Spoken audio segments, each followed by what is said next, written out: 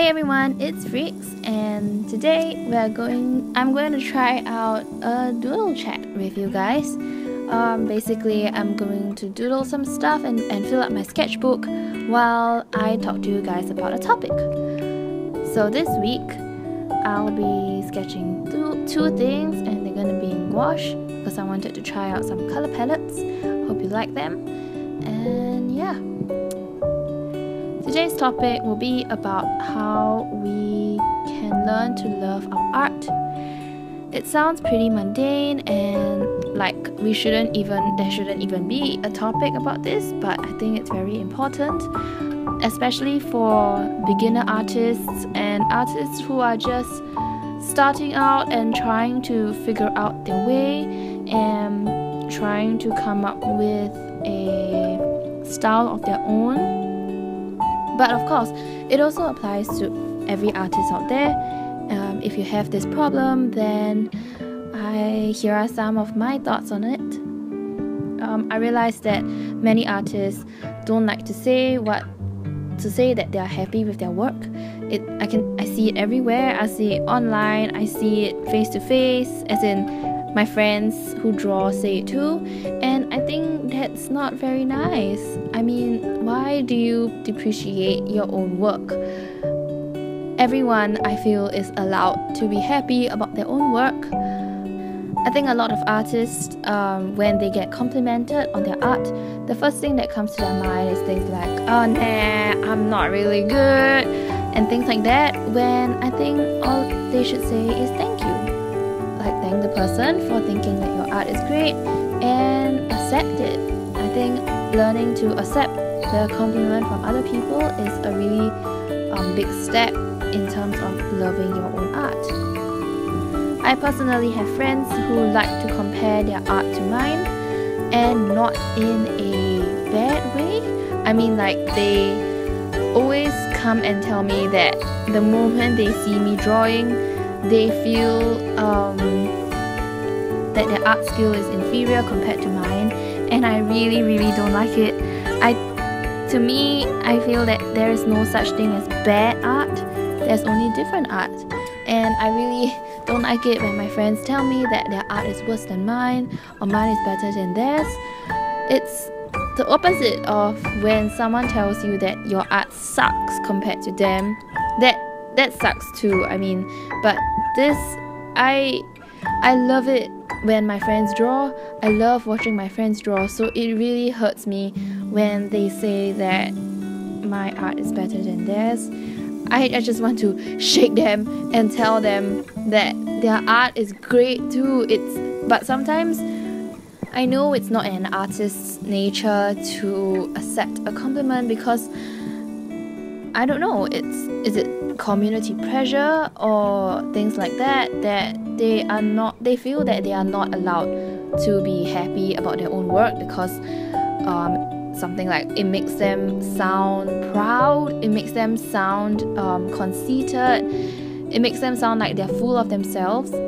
When I think that in fact learning to love your own art is a great step in being able to improve because if you look at your art and you can and you figure out which are the good parts you can take note of those and that's how you improve yes okay maybe your skills aren't as polished as your friend's art or an artist you see online but that doesn't give you the right to bash your own art i mean your art is a part of yourself it's an expression of what you feel uh, what you think.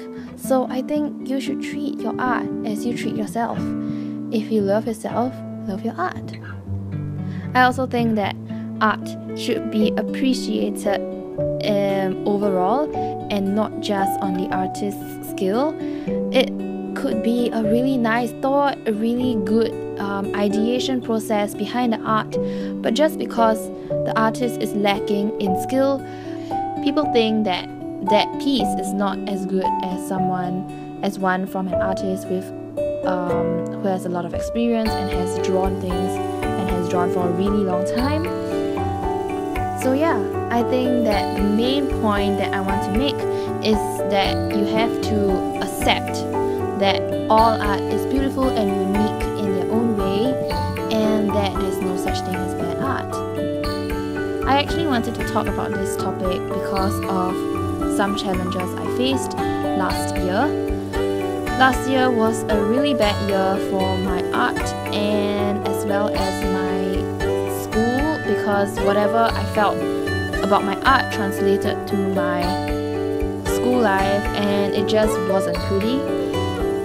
It started off because I felt like I wasn't getting as much validation of my art online as I used to have. I tried to tell myself that it was because um, people don't go on that social media anymore and things like that, but it somehow didn't help, and I felt really like um, my self esteem plummeted and it really affected every aspect of my life because I felt so horrible about my art. It I couldn't do my work right. I felt horrible about my work as well in school. I felt like I was doing everything wrong.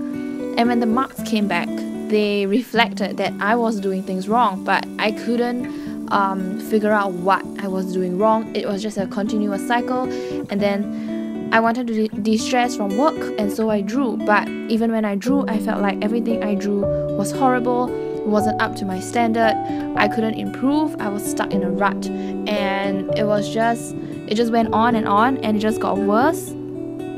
It took me forever, but in the end, I managed to convince myself to just let it go. It was a difficult process and it was really long. It took me a very long time to adjust to it. At first, I just went on a break and I thought a break would be enough, but it wasn't enough. I came back, I still felt the same way. So after that, I managed to just tell myself that this is something that is really affecting my life and I don't want it to affect my life because it's not what I need to concentrate on right now. What I need to concentrate on right now is my studies. And I mean, all this was at like at that point of time, meaning last year. So I thought that um, letting my art affect my study grades was really, really not the way to go. So I just stopped posting. I stopped um, doing anything on social media I just drew whatever I wanted whenever I wanted. I stopped trying to keep up with deadlines for my followers. I stopped trying to please people online as well. I stopped trying to think of what I wanted to draw based on what I thought people liked about my art.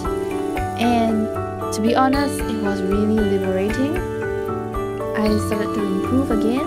I tried many new things. I started to like my pieces more, and fundamentally, I started to like drawing again. I forgot, I really forgot how it felt like to just enjoy what I draw and do whatever I want, draw whatever I want, and not have to cater to the people looking at my art. So if you're someone who is really affected by what you see on social media and how people respond to the things you post, make sure that these are positive because putting yourself in a positive environment will really, really help you in the long run.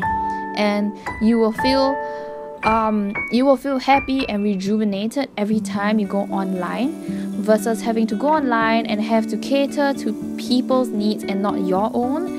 And you just feel so tired, so drained by the end of it that there's really, it just takes away the joy of drawing, which is so, so important in creating good art. To accept that art, all art is beautiful, I know can be a difficult thing.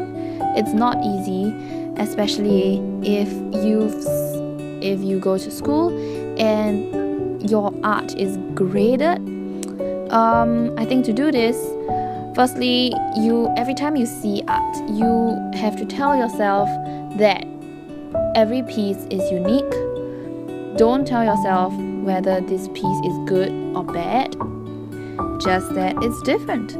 It's always different, not good or bad. Look out for parts in the piece that you like, as well as parts in the piece that you don't really like. Maybe it doesn't correspond to your style or things like that. But again, it's not bad, it's just different from your style.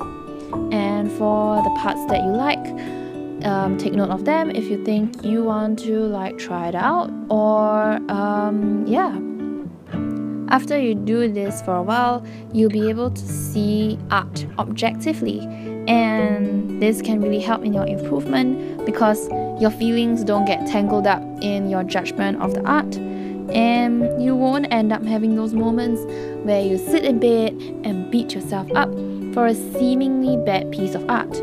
If you accept that your art is never bad, like every single piece that you do, even if you are not happy with it, it is improvement.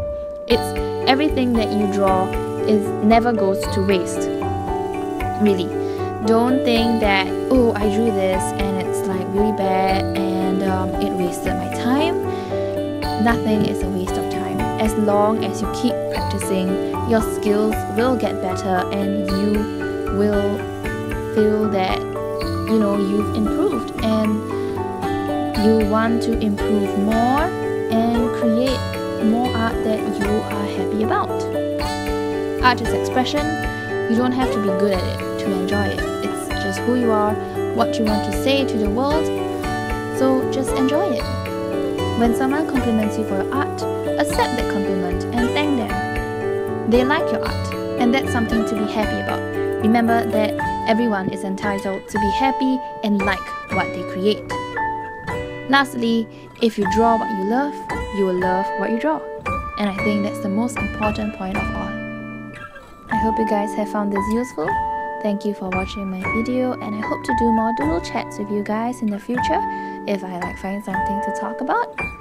Do leave a comment if you have anything to add to this discussion and don't forget to give me a thumbs up and subscribe. See you guys in the next video. Bye!